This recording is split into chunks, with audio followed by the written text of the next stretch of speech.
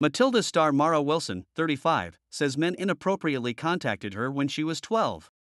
Mara Wilson, 35, reflected on her career as a child actress and the inappropriate ways she was contacted by men at the time in a new interview promoting her memoir.